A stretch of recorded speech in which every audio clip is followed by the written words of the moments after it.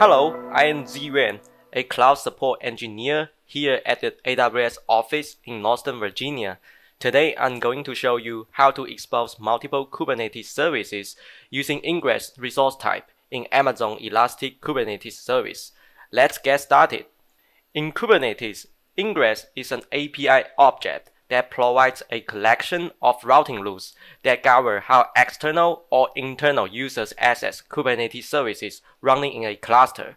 Ingress is not a service type, but it acts as an entry point for your cluster.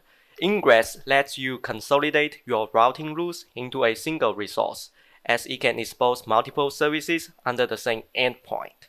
The Ingress resource supports the following features. Host-based routing, for example, routing request with the host header foo.example.com to one group of services and the host header bar.example.com to another group. Path-based routing, for example, routing request with the URI that starts with slash service A to Kubernetes service A, and the request with the URI that starts with slash service B to Kubernetes service B. TLS SSL termination for each hostname, such as foo.example.com. Ingress is always implemented by a third-party process. These implementations are known as ingress controllers. An ingress controller is responsible for reading the ingress resource information and processing that data. An ingress controller is a daemon set or deployment deployed as a Kubernetes pod that watches the endpoint of the API server for updates to the ingress resource. Its job is to satisfy requests for ingresses.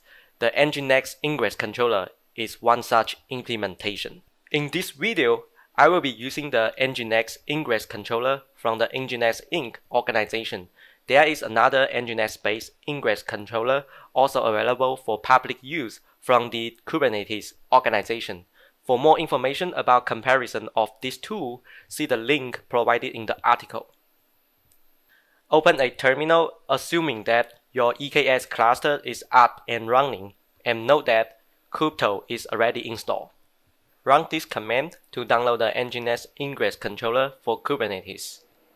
Go to the directory for deploying the ingress controller. All the commands in the following steps are running from this deployment directory.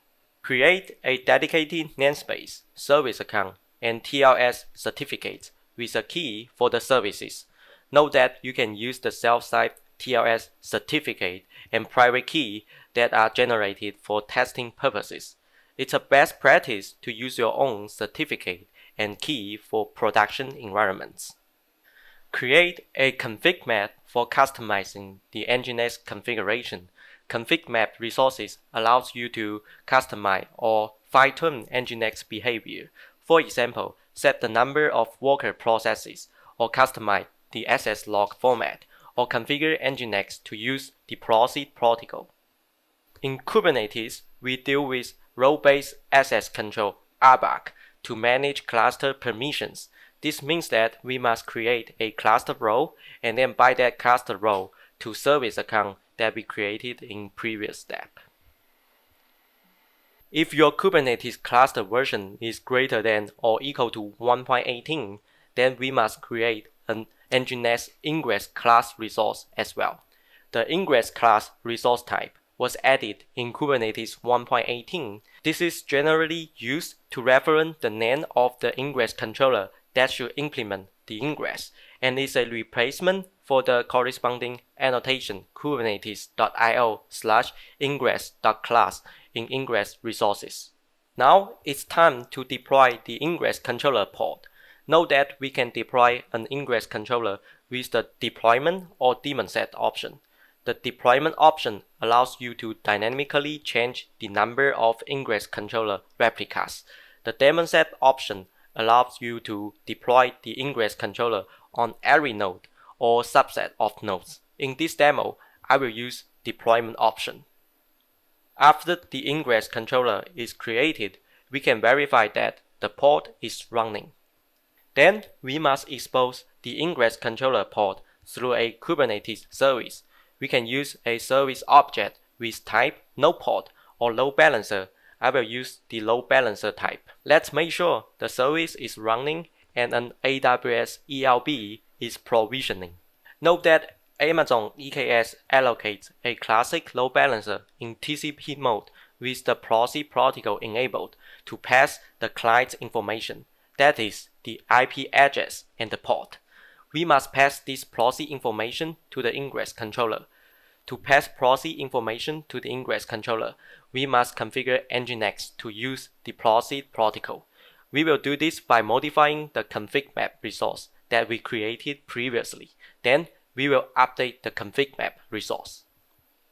Now, set up two microservices for testing purpose.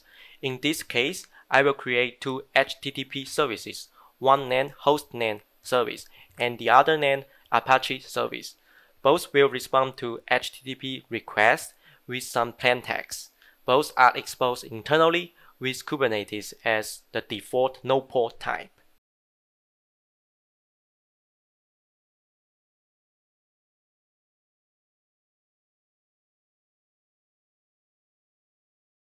Implement ingress so that it interfaces with these two services using the load balancer provided by Ingress Controller Kubernetes service. The host-based routing strategy is used to route traffic to respective service. Now that we are all set, we can test the ingress by access the DNS URL of the load balancer.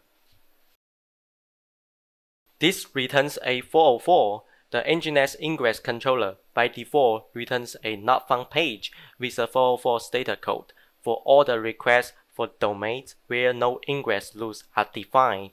The ingress controller, based on the defined rules, doesn't divert traffic to the specified backend service unless the request matches with the configuration. Because the host field is configured for the ingress object, we must supply the host header of the request with the same host name.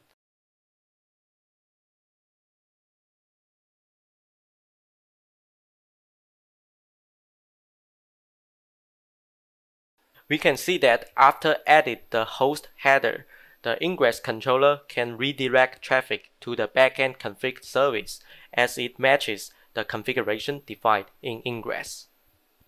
We can also divert traffic based on the path. To add path-based routing with ingress, do something similar to this.